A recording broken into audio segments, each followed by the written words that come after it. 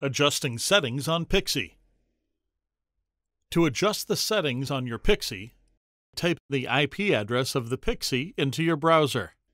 By default, the IP address is 10.10.0.1. If you changed your IP address, you need to retrieve it.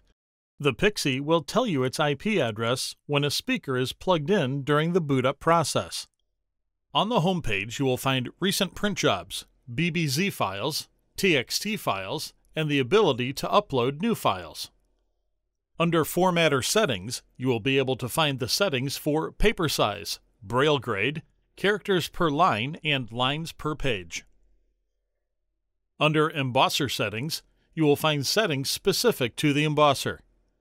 This includes paper size, margin settings, extra line spacing, graphics mode, text wrapping, braille quality, braille dot height, media type, dots per character, and braille spacing.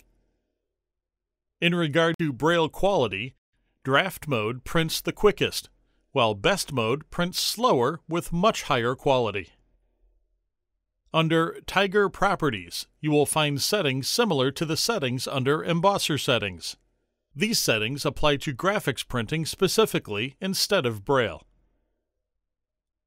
Finally, under System Settings, you will find Hostname, SSID, and Networking settings. Here you can adjust the Wi-Fi settings. By selecting the option Connect to another network, you can then put your Wi-Fi network name in the SSID text box and your Wi-Fi password in the passphrase text box. Note that once you click Apply, you will need to reconnect to this interface via the new IP address. You can retrieve the IP address by unplugging the PIXie and then plugging in a speaker before plugging in the device.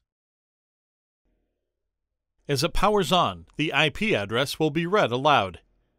Put this IP address into the address bar of your preferred browser to return to this interface. For more information, visit us at aph.org forward slash product forward slash PixBlaster.